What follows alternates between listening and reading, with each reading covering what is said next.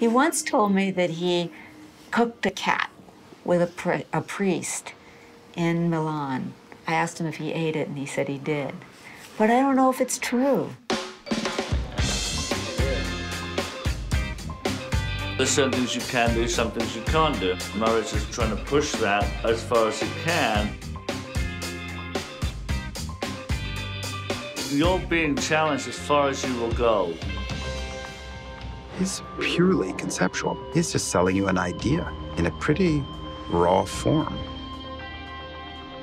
So it's almost a miracle, this idea that you, know, you would be able to float a dead Pinocchio in the Guggenheim or nail a woman to the wall. I mean, that's inappropriate. Or have the Pope hit by a meteor or a squirrel commit suicide.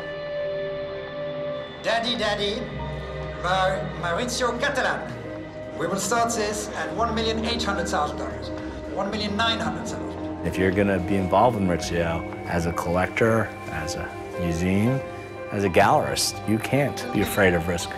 Sold. Be careful what you ask for. If you're going to take Maurizio to the dance, be prepared for a crazy dance.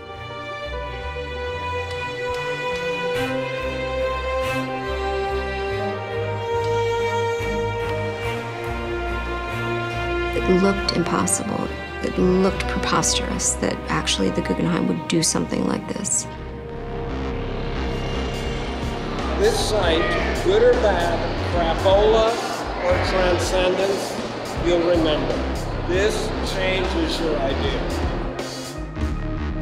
I think he's probably one of the greatest artists that we have today, but he could also be the worst. It's going to be one or the other. It's not going to fall in the middle.